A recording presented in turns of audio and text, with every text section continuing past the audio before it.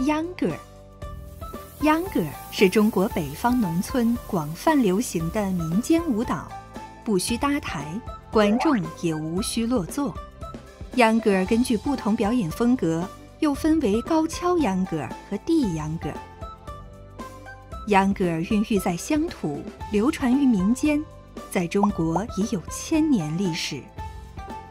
清代吴锡麟《新年杂咏》抄载：“秧歌，南宋登霄之村田乐也。农民在插秧拔草时，为了减轻劳作之苦，便哼起了歌，身体随性扭动，再融入独特步伐，就形成了多姿多彩的秧歌舞。人们扭秧歌时，会穿上色彩艳丽的服装。”手里拿着伞或手绢等道具，在锣鼓、唢呐等乐器的伴奏下尽情舞蹈。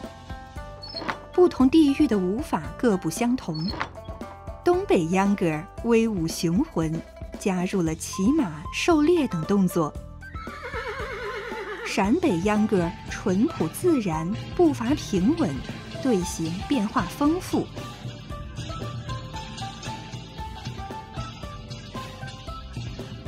秧歌舞队少则数十人，多达上百人，是农民闲暇时期不可缺少的娱乐活动。每逢春节、元宵等传统节日，人们便扭起秧歌来庆祝，比歌赛舞，好不热闹。感兴趣的话，你也来学一学，扭一扭吧。